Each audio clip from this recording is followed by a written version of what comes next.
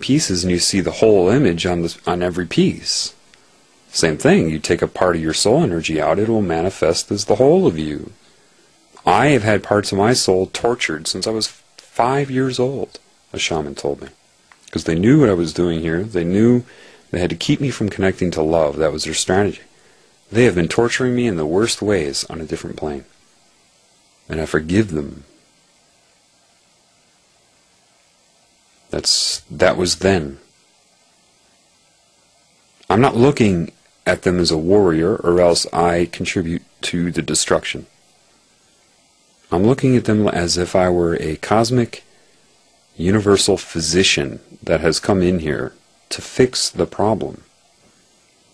You can be a psychiatrist and have a patient. That patient may reach up and smack you. Are you to take offense or to understand the disorder? I am to understand the disorder.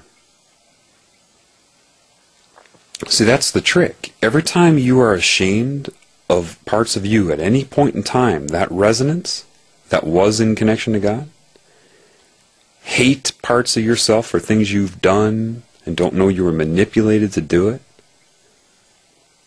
um, you kick it out of your body. Have you ever seen like when you're downloading a torrent online, it starts to collect pieces and you see all those gaps in it?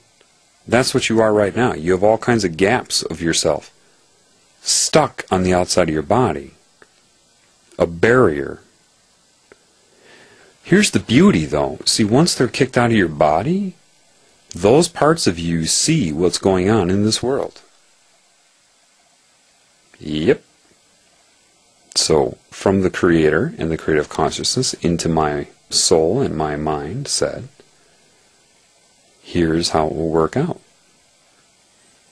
Forgiveness is understanding. I'm making you understand. You will make everybody else understand.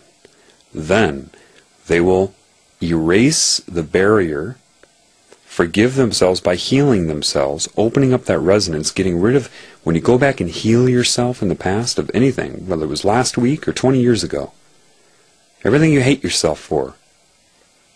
I don't like my teeth. I don't like this. I don't like that. Whatever.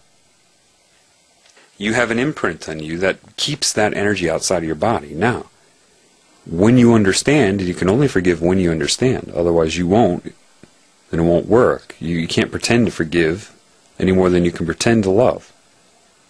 You, once you understand those moments and you go through them, it's kind of like in your mind, get back in here. I love you. And that comes in, and now you have a quantum of energy that has information from the outside. And it is that part of you that starts to wake you up. That is how I started seeing the subliminal messages. Those parts of me on the outside could see it. I could not. And the only way was to forgive that part of me and love it and invite it back. And now, more energy comes into me with this new awareness that can communicate with the Creator and me. And you go back and forth and you have to visualize yourself like, uh, from the very moment you were conceived all the way to the future uh, till you die. And each minute, like uh, along this huge line, each day, each, you know, just this huge, you know, 500,000 mile long line of you going up from growth of baby all the way to adulthood to death. And each point is a, a, a, moment in time. See, the point of you being healed exists in the future too. The future is all possibilities. So in one of those futures is your completely healed state. Do not think you cannot go to that point in your mind and take the energy from that being completely healed and let it start to inform your DNA and your body now. So that you walk into that paradigm. Not dimensionally, like one foot in front of the other, but in a paradigm, you shift into that paradigm. Then keep going back and forth and left and right and every time you finally realize that you should forgive the parts that you hate, that part jumps back in you. Now you're closer and closer to God. You start to be able to get the subtle uh, information to your soul from God, and you keep doing this. Now that those are opened, uh, it starts to take command over structure. you start to realize things like maybe I shouldn't eat animals. Maybe, oh my gosh, this is wrong. Hey, I understand this now. You know, I have to interrupt this real quick just to something that came to mind uh, that I want to get out before I forget it. And that was a lot of my questions about religion and working through that because I had been warped into thinking religion meant God and vice versa. I said, what is this deal with Jesus Christ? What is this all about? What, what is the deal? Because they already tried to terminate my life and infusing me with all this guilt and saying, Do you accept Jesus Christ as your Lord and Savior? And they're about to kill me before I went to the hospital that time.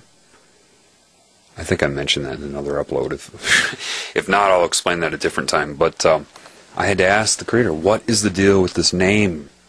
Ultimately, it's a, well, quite firmly, don't worry about it. Um, and then it used several, you know, command in my mind to extract metaphors. One was say you had a tumor in your body and you know it's all ready to repair itself and it does and all of a sudden it realizes you have that, that spontaneous healing and it disconnects from the tumor cells and your your other cells start to clean it up and then you say last minute I would say okay I'm glad you healed yourself and everything but I want you to, I'm to have to have you accept me as your Lord and Savior, and if you don't, I'm to turn you back into cancer or kick you out of my body. Because I'm that insecure, um, you know, because that's what love is. I need you to worship me.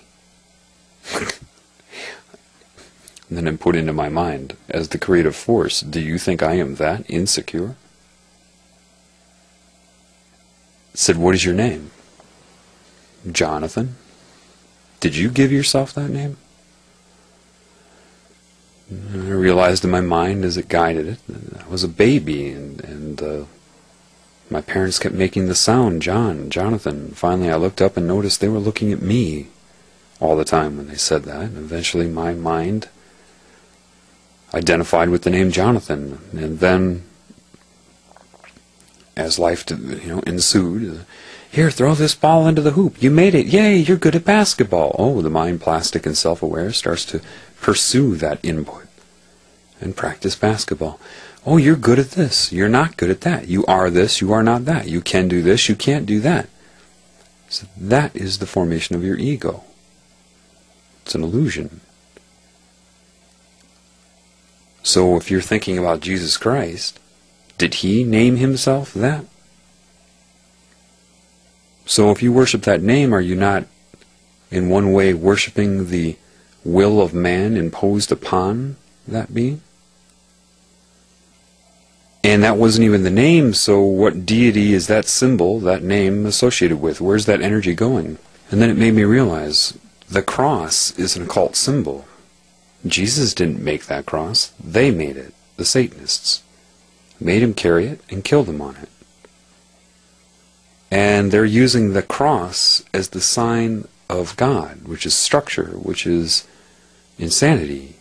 And if you focus your energy on that, you're directing your energy to it. And they absorb that energy. It said, if you did everything and repaired yourself to have the innocence of the child who does not sin, and did everything in accordance with creation, and then all of a sudden you were judged saying you have to accept a name and you couldn't survive without doing that, would you even want to exist in that type of universe? No, I wouldn't. I said, well, did he or did he not exist? It won't tell me. I say, why? It says, how are you going to learn if I tell you? Basically. Do you need to read a Bible to communicate with me right now? No, I don't. Exactly.